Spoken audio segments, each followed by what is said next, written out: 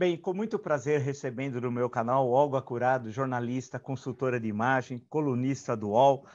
Eu agradeço muito, Olga, você ter aceito o meu convite.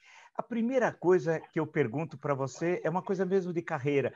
Qual, como, como, foi a passagem de jornalista, especialmente na Rede Globo, cerca de 15 anos, para a, a, a essa parte de essa área de consultoria de imagem que é vinculado não só à política, claro, mas também ao mundo empresarial? Olha, obrigada por estar aqui, obrigada pelo convite. É um prazer conversar com você, com, seus, é, com seu imenso público. Olha, foi, foi orgânico. Quando eu saí da televisão, havia uma crise que foi uma crise é, da Enron. E, e, algumas pessoas me ligaram, falaram assim, que eram ligadas a, a consultorias de empresa, falaram assim, olha, Olga, você não quer é, ajudar nesse processo da imagem. Eu falei, mas a Eno tem ativos no Brasil? Disse, tem. E aí eu falei, mas eu não entendo nada disso. Eu falei, você entende sim, você trabalhou tanto tempo em meio de crises, em meio de grandes confusões, você entende. Então foi é, é, o desenvolvimento foi sendo feito na medida em que eu fui entendendo como o outro lado do balcão, como a gente diz jornalismo, funcionava. E foi natural com essa experiência grande de quase de muitos anos, de algumas décadas em televisão, em jornal, você ap aprende a perceber como a notícia se se constrói, como a seleção da informação é feita e como aquilo gera impacto. E o meu trabalho foi, então, de ajudar algumas pessoas, lideranças empresariais, políticas, etc., a perceberem o alcance daquilo que elas falam e assumirem responsabilidade pelo conteúdo do que dizem, associado, evidentemente, com aquilo que elas fazem. Então, foi uma, uma transição que me pegou é, sem que eu fizesse uma escolha consciente e que acabei entrando nisso quando houve o apagão, etc. E fui.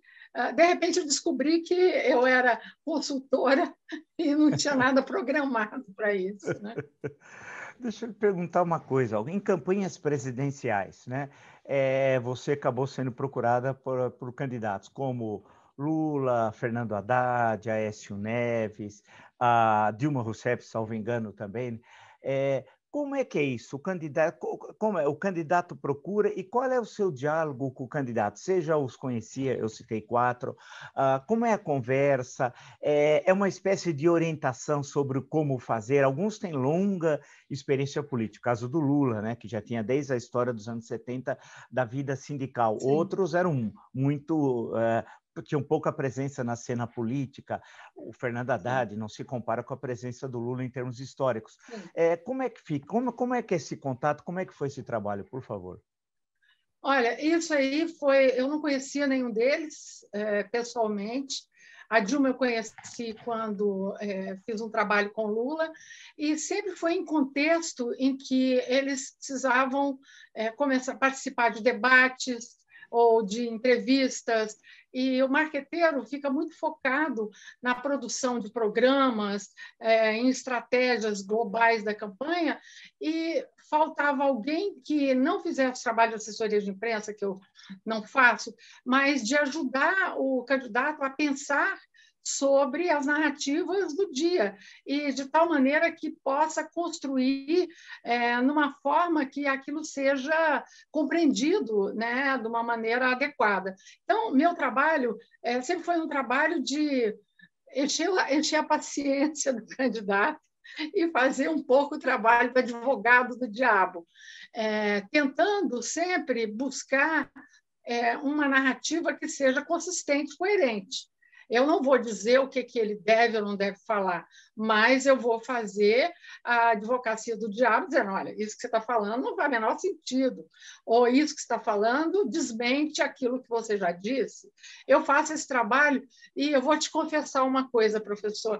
Ao final da campanha, os candidatos querem ver, me ver de longe, porque eu sou aquela pessoa que fala as coisas que normalmente ninguém quer falar, né? Aquela pessoa que é, a minha função é não é agradar, a minha função é fazer um pouco o exercício de reflexão sobre aquilo que está sendo falado e a maneira como está sendo falado, né? A senhora é, é faixa preta Aikido, né? Pelo que é, não me é, chama de senhora, porque ah, senão não, então você, desculpe, desculpe, você é faixa preta Aikido. Ficou célebre, entrou já no anedotário político, episódio de 2006 com o Lula. Ah, o que, que o, o, o, porquê daquilo? O que aquilo significa? A gente que não é da área, né? Quem nos uhum. acompanha, a, o, a sua ação, o famoso jogo, não sei se de braço, não sei como é que chama, o que aquilo significa para um candidato? É para destravar a fala? O, o que, que é aquilo? Explica, por favor. Olha, é, a, a, gente aprende que o corpo ensina a cabeça, não é o contrário. Quando a pessoa tem algum tipo de experiência física, a partir de um entendimento de um conceito, e mas quando é colocado na prática, aquilo parece que gera uma cai uma ficha. Então, eu uso o Aikido porque o princípio do Aikido é estabelecer a comunicação, é estabelecer o contato. Então, eu tenho, às vezes, que demonstrar que não adianta você querer usar força, não adianta você querer gritar, adianta... o que adianta é você fazer o gesto adequado, movimento adequado para que a sua narrativa chegue num lugar. Então, às vezes, né, não, não vou citar exemplo, às vezes realmente eu tive que ser um pouco rude com algumas pessoas, porque a ideia fica muito clara na cabeça, mas o comportamento não não é coerente com o que a pessoa fala. É, então, tem que mostrar, não adianta você querer impor. O que adianta é você é, desenvolver, de fato, argumentos, é, visões para que o outro te acompanhe. E o Aikido me ajuda muito nisso. Quando não, quando faltam palavras, o gesto é fundamental. Então, no episódio, aí não é, é para entrar então em casos não conhecidos do público, que é o de 2006, esse, todo mundo falou o porquê daquilo. Você, é, por favor, só para estava conversando com o candidato, candidato à reeleição, só para lembrar quem nos acompanha, eu digo isso porque o Ivan Lessa dizia lá no Pasquim faz tanto tempo que a cada 15 anos o Brasil esquece o que aconteceu nos últimos 15. Então, vamos é sempre relembrar a quem nos acompanha. Ele era candidato à reeleição e, e aí justamente procurou algo a tal. Então, como é, como é que foi esse episódio especificamente? Ah, basicamente, eu nem me lembro o contexto, mas é, esses é, exercícios, basicamente, eu faço quando alguém está tentando é, me convencer ou impor um ponto de vista e eu reajo, é, digo, não entendo, me, me leve para o seu ponto de vista. É, me conduza para o seu ponto de vista. E aí a pessoa, é, às vezes, é, tenta falar, tenta é, explicar ou tenta brigar. Eu falo, não, me leve, me leve, estou aqui, me leve. E aí é um exercício em que a pessoa tem que perceber se ela é, se coloca genuinamente em relação ao outro, né? Às vezes fala, é, me leva fisicamente. Se você não me levar, eu te levo. Então você precisa descobrir uma outra força que não seja a força da autoridade, mas é uma força eh, da comunicação genuína. Então, basicamente isso. Me leva, não consegue me levar. Se não consegue me levar, não vai conseguir levar ninguém. Eu sou facinha, facinha. É, ele ficou assustado? Não, ah, eu acho que as pessoas já não se assustam muito, não. É, ficam, às vezes, um pouco perplexas com o fato de ser uma abordagem tão heterodoxa, né? É, mas é, é, fica muito compreensível depois o significado, é, que é basicamente você tem que abrir mão é, do convencimento pela força e pela autoridade, vamos dizer, hierárquica, é, política, e buscar um outro elemento para poder, de fato, influenciar a decisão das pessoas. Tem que ser honesto internamente, senão você não consegue fazer isso. O corpo fica duro, o corpo endurece quando você tem uma agenda que não que não que é meio oculta. tem que ser transparente. Sim, deixa eu lhe perguntar uma coisa, para te contar, não serei, evidentemente, candidato a nada, parece a música lá do João Bosco, Aldir Blanc, eu só lembro do, do passado mesmo, samba plataforma, faz tempo. Eu não vou ser candidato a nada, meu negócio é batucado. Então, vamos pensar, é, eu, eu chego, eu sou candidato a algum cargo aí, vai, qualquer, vai, do executivo. e vou procuro o seu serviço. Falo, olha, eu sou candidato, tal, para partido X. É, aí você começa a me questionar, você vai me perguntar, por exemplo, por que você é candidato? Não sei, estou uhum. chutando. Aí uhum. eu vou dizer assim, eu quero ser candidato. Geralmente algumas respostas são muito óbvias, né? Eu acho mentiroso para ajudar o povo, sim, porque eu sim. quero dar o que eu recebi. Eu acho tudo sim. isso mentira, né? é um teatro de oitava qualidade. E aí como é que é esse, esse bate-papo inicial? Que deve ser quando a pessoa, quando você começa a conhecer mesmo a pessoa, porque você conhece só a figura pública, né? Mas não uhum. a pessoa no tete a tete. É, é, geralmente eu quero saber como é que surgiu aquele desejo.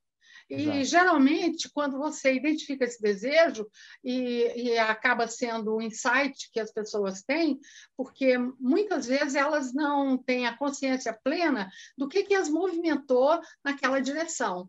E quando elas chegam naquele ponto, naquele momento em que ela fala, EPA, que não é só uma conveniência é, partidária, quando ela vai além disso daí, aí ela consegue observar, consegue construir um discurso autêntico. E algumas pessoas, viu, professor, já já já testemunhei, elas elas se surpreendem com a gênese daquele daquela escolha. E quando isso acontece, você de fato consegue é, fazer com que a pessoa desperte para um discurso que não seja o óbvio porque às vezes tem pessoas que descobrem é, esse desejo, essa inclinação em experiências muito é, muito primárias, na adolescência, na infância, diante de, de alguma situação em que é, mas até chegar nesse ponto de nível de consciência, e às vezes não, às vezes é assim, eu quero poder, eu quero dinheiro, porque eu gosto de dinheiro, não tem problema, mas você precisa saber quem é teu mestre é, porque é o teu mestre que vai te conduzir no seu processo. Então, é, a, o primeiro, a primeira investigação é que faz é, descobrir, não, por que você quer ser candidato? Por que você se transformou num candidato? E como isso aconteceu? Isso aí dá um alívio muito grande para as pessoas quando elas descobrem muitas vezes que elas estão ali de fanfarronice, que elas estão ali apenas como instrumento de, de um jogo político partidário, ou quando elas têm uma, um desejo de fato real de fazer uma carreira que tem um, um impacto na vida de milhares, milhões de pessoas, né? Mas é chegar nessa crença. Exato. Deixa, claro, evidentemente, sem citar nomes, Olga, mas teve alguma pessoa que procurou no campo da política e, e você ficou decepcionada, que você achou que ele era o que ele não era na realidade? Teve, evidente, claro, nós estamos falando a questão ética e você não vai citar nomes, claro, mas é, não, não. já aconteceu isso de você falar assim, puxa vida, eu imaginava que ele era uma coisa, mas ele não é o que eu imaginava, para o bem ou para o mal? Olha, professor, vou lhe confessar uma coisa: as pessoas é, no ambiente público elas são muito diferentes do que elas são é, nessas relações é, mais privadas. É, no final, no final, tudo se resume a seres humanos com muitas inseguranças, com muitos medos, com muitas insatisfações, com muitas dúvidas. Eu não encontrei até hoje ninguém que fosse totalmente, é, é, vamos dizer, é, completamente seguro ou completamente resolvido. Nunca encontrei. Essa pessoa não existe. Eu não sou, ninguém é. Então, é, o que já me surpreendi foi com a ausência de empatia, com ausência, com nível de, de consciência e nível de informação eu já me surpreendi, assim, não vou falar a palavra, já me surpreendi com a burrice. Isso eu já me surpreendi muito. É, como assim? Sabe? É, já me surpreendi muito com o baixo nível de, de leitura, de referência. Isso eu já me surpreendi muito. E, e, a, e, também já me surpreendi com a falta de conexão com a realidade. Você perguntar assim, como assim? Você não está vendo? Então, tem, às vezes, uma, uma certa desconexão, uma, uma, uma fantasia do mundo que a hora que você vai conversar, você fala onde é que chá que ele bebeu, entendeu? Porque não faz o menor sentido o que que está sendo. E às vezes você poder chegar lá, às vezes não chega. Pode dizer uma coisa, às vezes não chega. É, é, além dos quatro nomes citados, é, Lula, Haddad, é, Aécio e Dilma, uh, eu vi que você também, quando ele era deputado federal, só, acho que ele estava no PSC, foi de tantos partidos, uhum. o Jair Bolsonaro, ele a procurou. Uh, qual foi a sua impressão que quando você o conheceu? Na época ele era deputado federal. É, eu, eu me surpreendi muito com a ausência de empatia. Fiquei muito é, é, surpresa com a falta de clareza da importância do outro. Uma dificuldade muito grande de, de reconhecer a dor do outro, de reconhecer. É, quando, quando se tratava, por exemplo, da tortura, tratar com uma, com uma leveza, isso me deixou muito perplexa, é, é, como, como uma pessoa muito descolada é, da realidade é, e até com uma certa, é, vamos dizer assim, barreira cognitiva, de uma certa dificuldade de compreensão de raciocínios mais abstratos. É aquela pessoa que talvez é, é, a comunicação devesse ser feita quase que desenhando, né? Então isso daí realmente é. E, e, realmente me procurou, eu, só, eu, tive a oportunidade de trabalhar durante um dia, foi, a, foi na ocasião em que ele fez aquele voto contra é, pelo impeachment e fez uma ode ao, a um símbolo do, da, do fanatismo, é, é vamos dizer, da ditadura, e, uh, e, não compreendia por que, que a reação havia sido é, grande em relação ao comportamento. E aí eu, eu quis entender como alguém não percebe o alcance daquilo que diz, né? que é, é, a, é a falta de noção. Não é a falta de noção, vem, professor, do que diz, é, porque aquilo é deliberado, mas de quanto aquilo pode causar no outro. É, é como se o outro não tivesse importância. Né? Isso é, é realmente assustador. É assustador mesmo. Isso foi em 2016, né? Quando ele, é, na hora daquele voto, ele faz a referência uhum. ao Coronel Ustra, Carlos Brilhante Ustra, que é. chefiou durante cerca de quatro anos o DOICOD aqui em São Paulo, no antigo Segundo Sim. Exército, né? Na Rua Tutóia, que é com todos aqueles horrores. Agora, ah, sendo assim, a, é, a senhora que eu conheci em 2016, ele candidata a presidente em 18, dois anos depois, acabou sendo eleito presidente em condições muito particulares, né, que eu creio uhum. dificilmente vão se repetir, e aí começa a presidência da República em 2019. Mas, especialmente a partir da pandemia, início de 2020 até agora, e eu tenho acompanhado, li os artigos que você escreveu no UOL, uh, e, é, é, sendo a, pela sua interpretação naquele momento, em 2016, não deve ter surpreendido nada a ação dele como presidente. É como se fosse uma continuidade, como se ele não tivesse aprendido nada de 2016 até 2020 e 2021. Mas ele não chegou quase que num limite desse não entender o outro, é, mais ou menos no espírito do que você colocou? O sofrimento do outro, não ter essa relação né, de, é, de que faz parte de um coletivo, de uma humanidade, que o outro é o seu irmão. E, e como é que mistura isso até com o discurso religioso? Porque o, o discurso religioso cristão, no caso em tela, é, tem a questão do outro, né, de se formar uma comunidade de iguais, desde o cristianismo primitivo. Como é que a senhora, a, a, você, desculpe, analisou então a, essa gestão agora do Bolsonaro? É, eu acho que tem a questão pessoal, que é essa dificuldade individual de compreensão, mas junto disso tem um pensamento que é um pensamento é, inspirado é, em Bannon, é, num tradicionalismo que é defendido lá pelo, é, não sei dizer se é filósofo teórico, que é aquilo, é, e aquilo se constitui, de fato, numa linha de pensamento que eu não vejo é, é, nele como alguém que compreende, mas que aquelas instruções são filtradas. E eu acho que esse pensamento ele está diluído é, na gestão que é um pensamento que é, do tradicionalismo lá, que busca lá referências em alguns teóricos que também alimentam as paranoias é, de Putin, etc.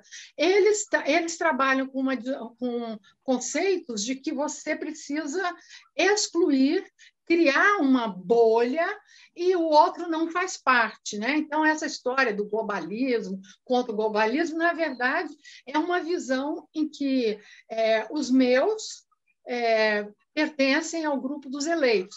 E aqueles que não pertencem, eles devem ser banidos. Né? A gente viu lá a, a, o, o, auxiliar do, do presidente, o Felipe sei lá eu do que, fazendo gestos Martins, que acho que é Martins. com cumprimentos.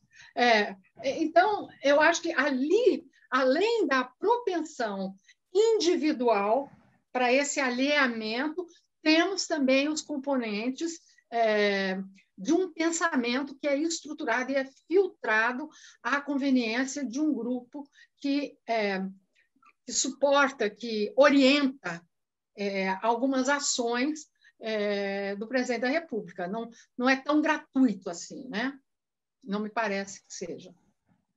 E toda ação, são três, mais passamos de 300 mil mortos, não assusta você ter um presidente da República que convive a impressão que dá, porque eu, eu, sou obrigado a acompanhar diariamente a conjuntura política e assisto nas sextas, pela, logo cedinho, a live de domingo à noite, de, de quinta-noite, perdão, quinta. que é um horror, assisto por obrigação. É quase que um exercício, não é fácil, mas tendo a assistir.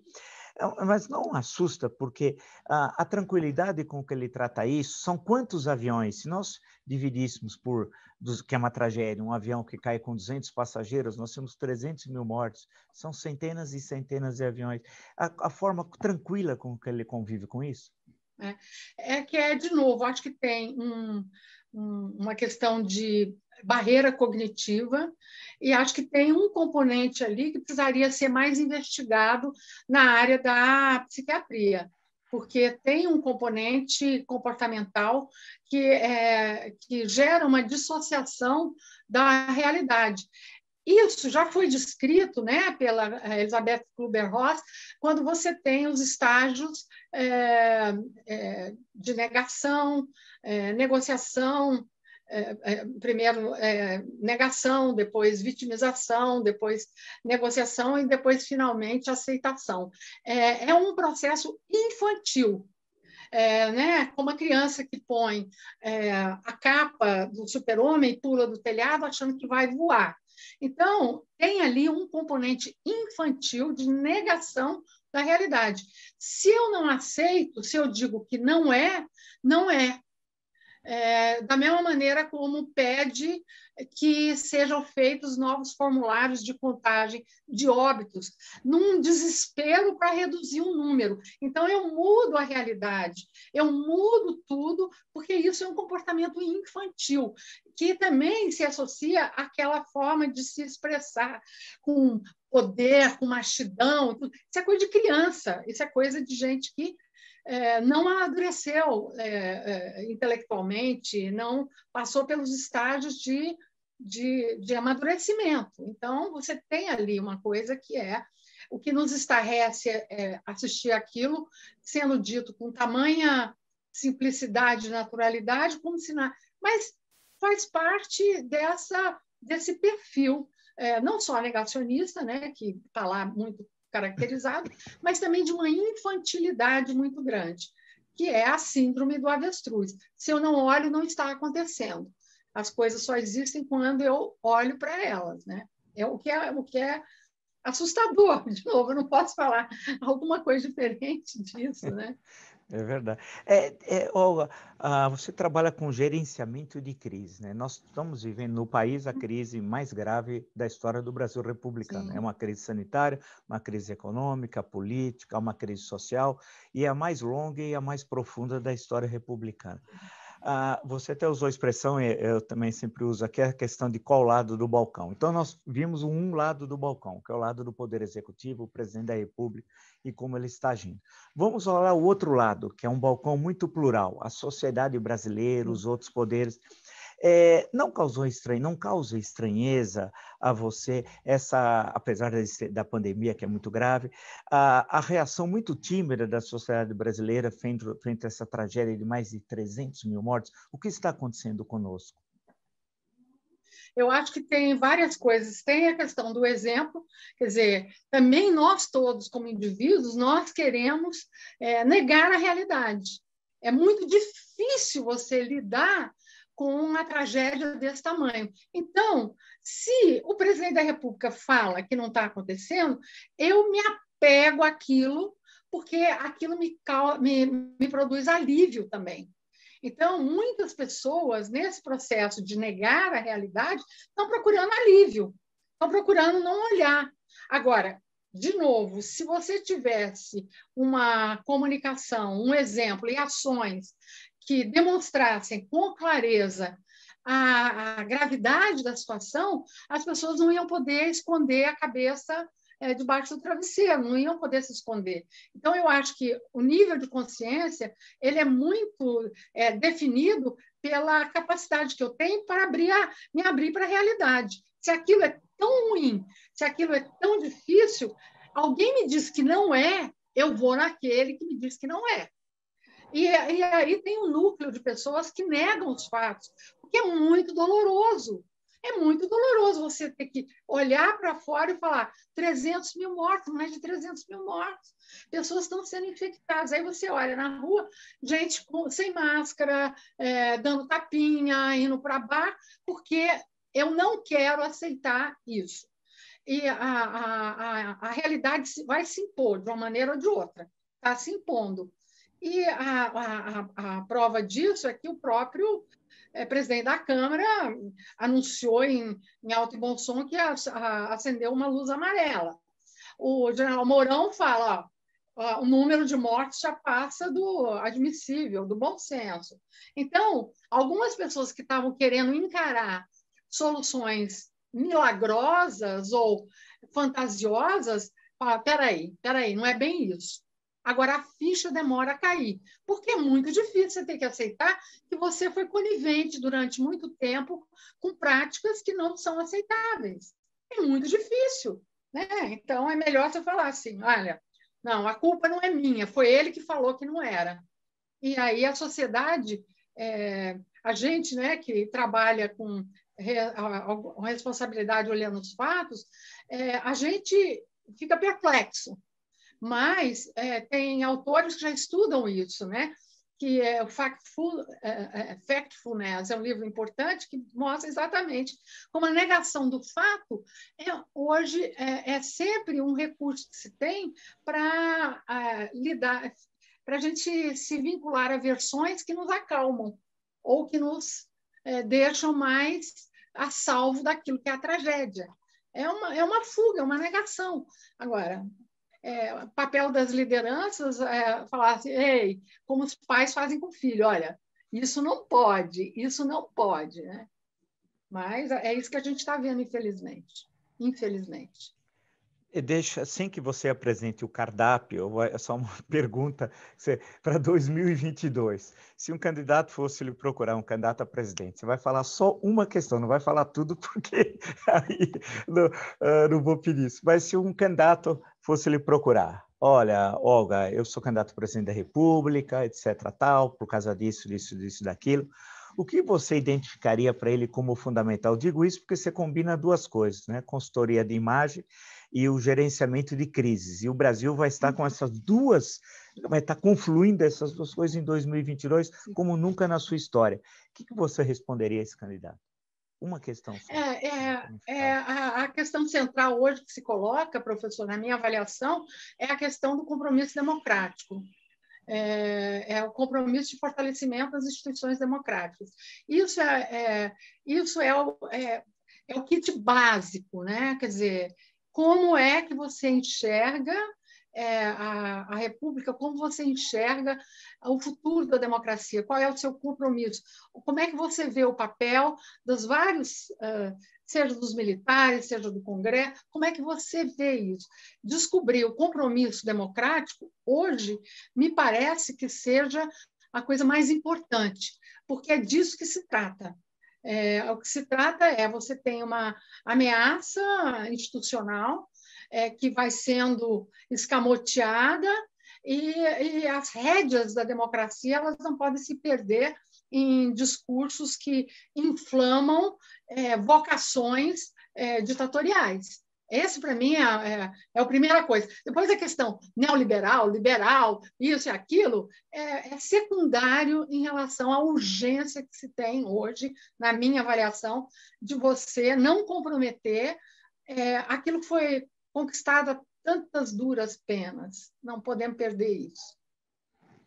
Oh, Olga Curado, muito obrigado mesmo. Como, é, como apresentei no início, jornalista, gerenci, é, trabalha com gerenciamento de crise, consultora de marketing, colunista dual. Foi muito bom conversar com você, ah, porque acho que muita gente que nos acompanha aqui no canal não sabe, não, não conhece, ouve falar, sabe, e de algumas histórias que eu fiz questão de colocar, que você apresentasse, né?